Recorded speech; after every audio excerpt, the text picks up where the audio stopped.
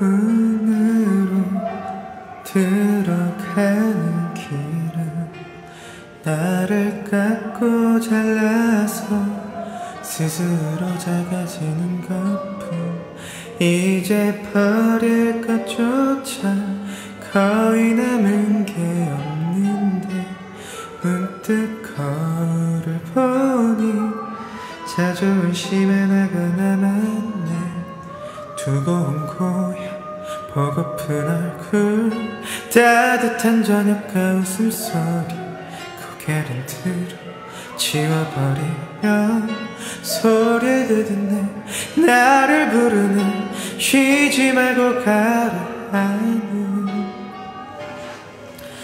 저 강들이 모여드는 곳 성남파도 아래 깊이 한 번만이라도 이룰 수 있다면 나 언젠가 심장이 터질 때까지 그늦게 울고 웃다가 긴 여행을 끝내리 미련 없이.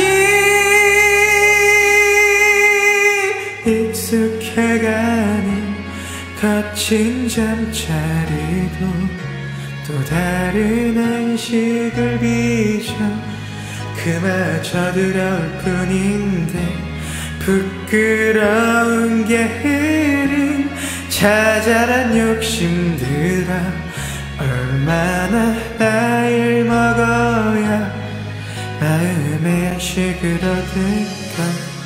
하루 또 하루 무거워지는 고독의 무게를 참는 것은 그보다 힘든 그보다 슬픈 의미도 없이 잊혀지기 싫어. 두려움 때문이지만.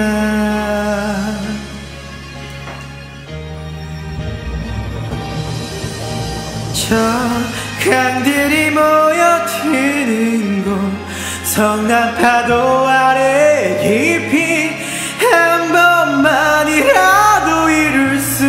있다면 나 언젠가 심장이 터질 때까지 흐느껴 가으며 긴 여행을 끝내리 미련 없이.